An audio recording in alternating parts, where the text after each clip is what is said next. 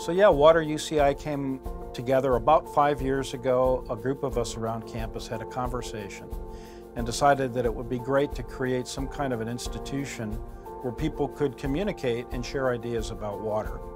And in doing so, we could bring different schools and departments and different disciplines together to actually address California's water problems, which as we know are increasing.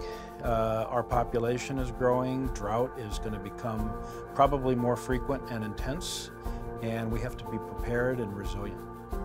So we work in three domains, research, education, and public outreach. And in all three of those areas, we're very interested in helping Californians become more efficient in water use.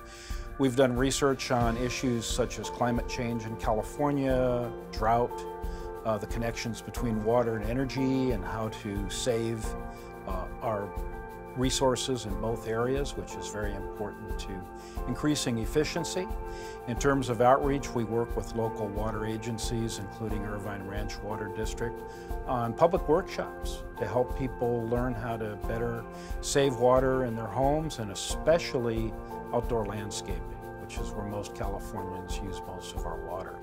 In education, we have a number of uh, efforts working with public schools, probably the most exciting effort we have is with middle schools here in Orange County to actually work with students and teachers in teaching water conservation and in coming up with very innovative projects uh, regarding the best and most efficient uses of water. of course, middle school students, boundless imagination, they're uninhibited by uh, you know, the way things are supposed to work, so they come up with really great ideas. So most of the innovations on the technological side regarding water, or probably most natural resource issues at the university take place within academic departments, particularly uh, the School of Engineering, Physical Sciences, other related schools. Where I think Water UCI helps is to bring those innovations to public light. And we do it in a couple of ways. One is we have a colloquium series uh, where we bring people in from around the country, including UCI, and talk about these innovations that can help us save water, can help us use water more efficiently.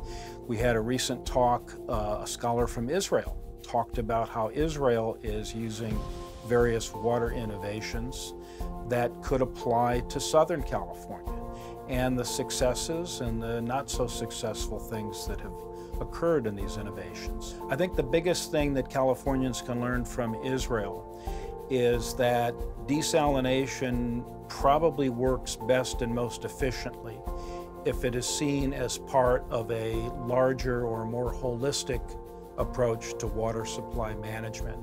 In Israel, desalination came about largely out of, uh, I would say, almost desperation. Uh, it's an arid country, uh, heavily urbanized, and doesn't really have much access to fresh water. And desalination came about as an urgent effort to try to provide water for cities. But what Israel does is the wastewater that comes out of the urban uses of the desalinated water then goes directly into a process of wastewater reclamation, which is used for growing food. And on top of that, they also have very aggressive conservation programs. So desalination isn't seen as a panacea or a, a, a, a solution for everything, but it's seen as part of a network that connects uh, one water supply option with another water supply option with another set of uh, demand alternatives.